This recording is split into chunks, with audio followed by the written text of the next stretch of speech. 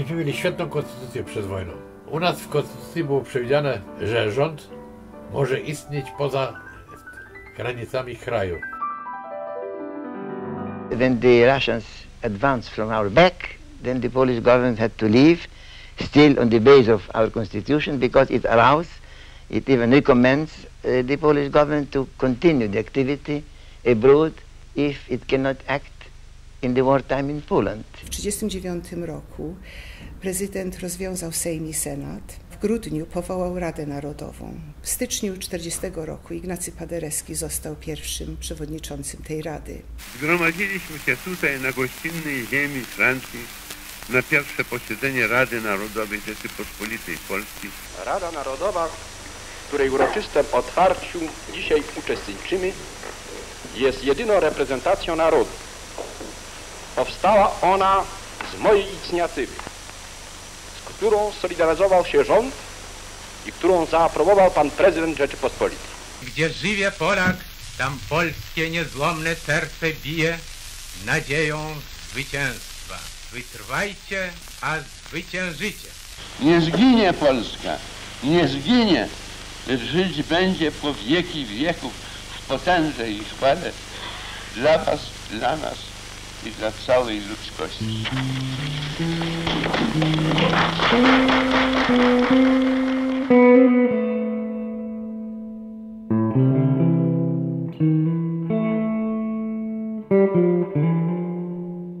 We had to restart our activity as Polish government, in the beginning in France and later after the collapse of France in England.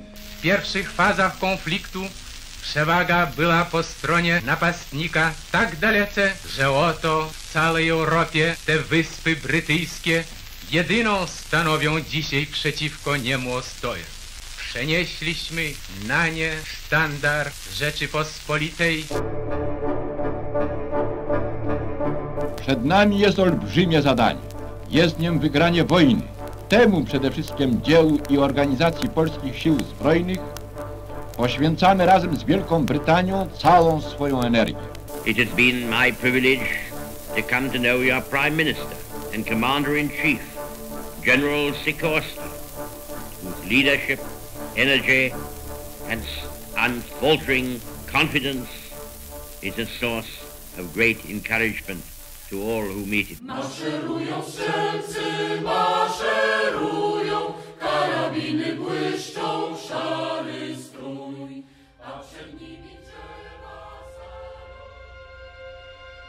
Rząd roztacza opiekę nad uchodźcami we wszystkich centrach polskiego uchodźstwa, jak w Iranie, Palestynie, Indiach, Afryce Południowej i Wschodniej, Brazylii, Argentynie, Portugalii, Hiszpanii, Algierze, Meksyku i tym. Obywatele polscy znajdujący się w Rosji są nieustannie przedmiotem naszej troski. Półtora miliona ludzi zostało wywiezionych w głąb Rosji. Ja byłem też jednym z tych ofiar. Ja straciłem brata i sio- siostrę malutkich dzieci. To nie były wakacje.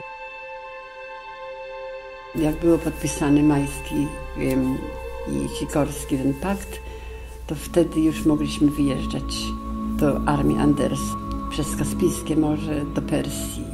To była bardzo mała cząstka ludzi. Przecież do tego ter- terytorium olbrzymiego Rosji i do wielu nie, nie, niedostępnych zakątków było wywiezionych setki tysięcy. Do wielu nie doszła nawet wiadomość na temat tej, tego zwolnienia.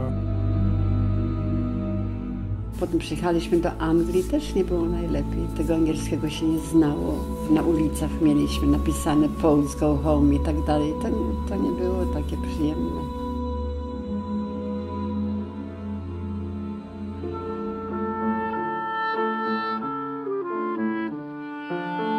Cały naród polski okrył się żałobą.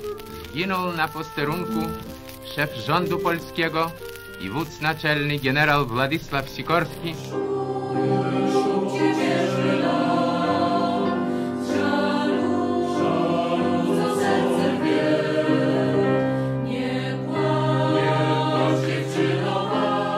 Z krajem jesteśmy w jak najbliższej łączności i zespoleniu. Tutaj reprezentują Polskę pan prezydent i rząd, Rada Narodowa Rzeczpospolitej Polskiej i Polskie Siły Zbrojne.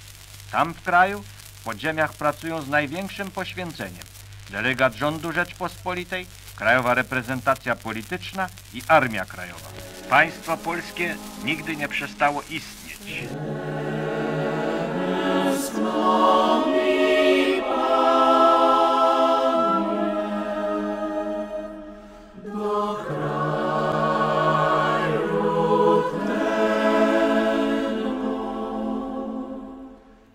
Szóstą zimę wojny zwracam się do Was z uczuciem serdecznym, z oddaniem pełnym, z podziwem i z szacunkiem. Z bolesnego oddalenia dzielimy z Wami Wasze cierpienia, Waszą wiarę i Wasze nadzieje.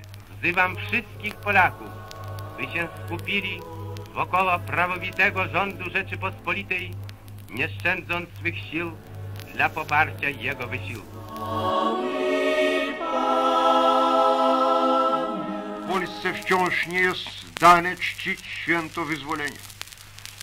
W ciągu 64 strasznych miesięcy niemieckiej okupacji miliony Polaków oddało życie, walcząc o polskie prawo do prawdziwej niepodległości.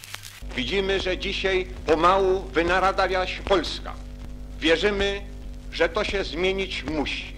Polska suwerenna dziś jest przedstawiona tu przez pana prezydenta. Jedynym rządem legalnym, bo z jego woli wyłonionym jest nasz rząd tutaj w Londynie. Droga nasza do Polski jeszcze zamknięta. Jak długo w Polsce rządzą obce bagnety. Wojna się nie skończyła 8 maja 1945 roku. Przecież trwała bardzo zacięta walka w wyeliminowaniu Armii Krajowej. Naszym wrogiem jest przede wszystkim zawsze ten, który okupuje kraj i trzyma Polskę w niewoli. Jesteśmy teraz jeszcze rozłączeni, ale wiemy, że rozłąka jest tylko czasowa.